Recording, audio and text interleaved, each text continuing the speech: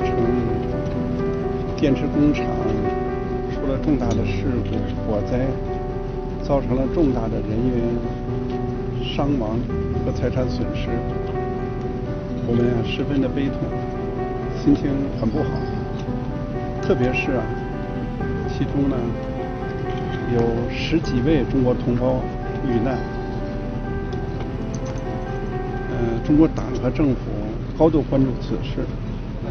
指示我们呀，嗯、和韩方做好协调，务必做好相关的善后，嗯、不仅对遇难者、中国同胞的遇难者表示沉痛的哀悼，对遇难者的家属表示慰问，对伤者呀、也表示慰问。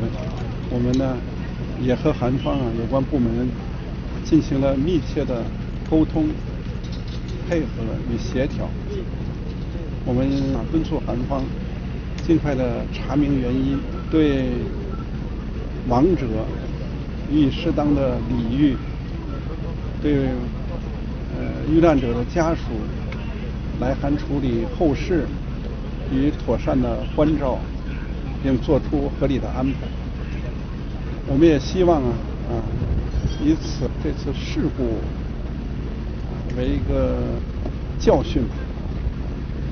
今后啊不再发生类似的事情，呃，做好相关的安全保障等等方面的事情。